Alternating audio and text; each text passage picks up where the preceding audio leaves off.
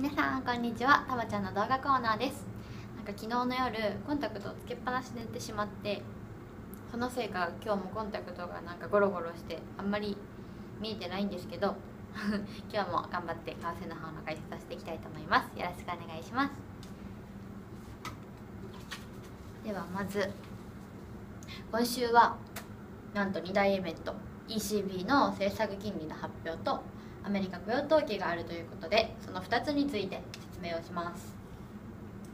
でまずは前回の結果から振り返りたいと思います。前回の ECB の政策金利の発表は9月4日でしたよね。まさかの利下げっていうことでこれ確か予想は据え置きだったんですよね。でサプライズで政策金利が0.15からなんと0.05%に下がってで中銀預金金利も0.1からマイナスマイナス0.1ですね。すいません。マイナス0.1からマイナス0.2まで下がっだったんですよね。でその後のドラギ総裁の会見で資産担保証券の改良を10月から実施しますよっていうことがあったんですよね。これ私発表があった時携帯で見てたんですけどそんなにその日の昼間かな？にあそうだなどう動くかなとか思って注目しようと思ってたんですけど夜帰ってみてこんな動いたと思ってすっごいびっくりしたの記憶にあって。ね相当なサプライズでしたよね。でその次の日9月5日にアメリカの雇用統計がありました。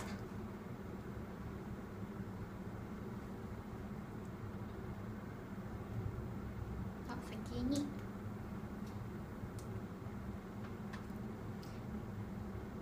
じゃあそのこれだけのサプライズがあった時に為替はどう動いたかっていうと前回の ECB 現象ですよね。ここ。ここで発言があってドッカーンって下がって相当な下げでしたよねこれ。びっくりしました私も。ここが発表があったのとドラギ総裁の発言で2段階で下げてます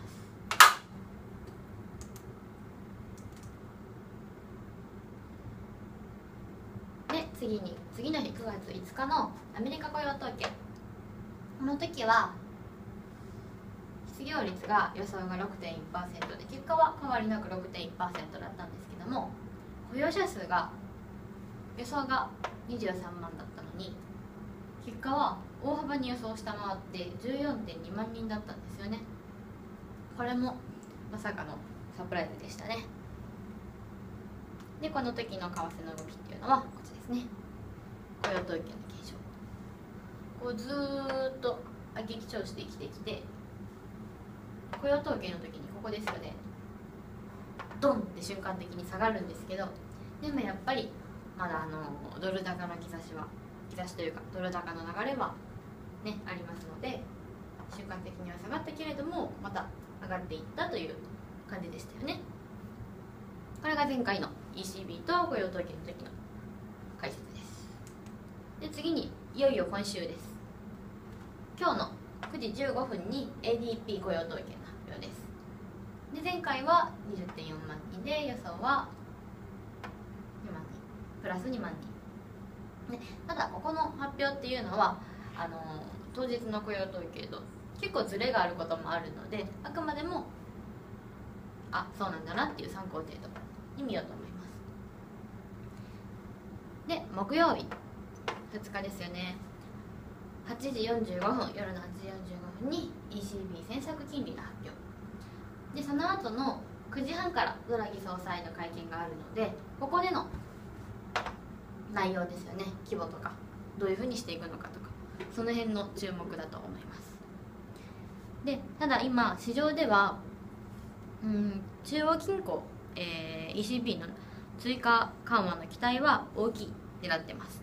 でもただあのギリシャであったりイタリアであったりスペインの国債っていう部分でこう強気な流れに調整色も出てますのでその辺なんかもちょっとうんどうかなっていうふうに市場ではなってますね。で金曜日9時半から雇用統計です。で前回はさっきも言いましたけどプラス14.2万人だったんですよね。で今回は21.5万人プラスになるだろうと。で失業率はまあ変わりなく。って感じなんですけれども雇用統計に関しては8月9月とずっとなんかこう下げしぶりだったんですけどもこの10月今回の分はかなり強気に予想に強気予想になってるっていうことになってます。なので明日から2日間このビッグイベントありますけれども楽しみに注目していきたいと思います。最後に PR をさせていただきます、えー、今週末の10月4日に横浜セミナー開催開催します。でこれは午前の部が10時から12時午後は13時から15時半って書いてます。でこのセミナー大変ご好評いただいてましてもう残りが1席2席余ってるか余ってないかぐらいなのでぜひお早めにご希望の方はこのフリーダイヤル玉置までご連絡ください。